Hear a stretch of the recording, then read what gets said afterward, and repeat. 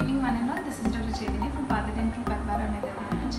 Uh, we have a very old patient of ours here today, and her name is Mahalakshmi. So she had cavities, two to three cavities. So we have uh, suggested her to go for root canal and caps. So we have done a root canal for and cap in 2014, and again she is here uh, in 2019. Recent years also she was here for uh, checkups and all. So how is her experience? We'll know in her. Hi, this is Mahalakshmi. I'm coming here since four years. Uh, I had my root canal done. Uh, they said I had an infection.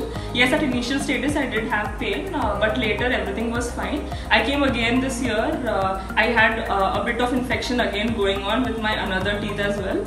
So uh, yes, the doctors were very good good to me as well. Uh, they treated me well. Uh, today I feel uh, I, I, I feel proud that I've come up to Partha Dental for my dental uh, issues. Uh, even my father and my brother have come up here. I recommend all my friends and family to come up to dental uh, dental treatment only to Partha Dental. Thank you.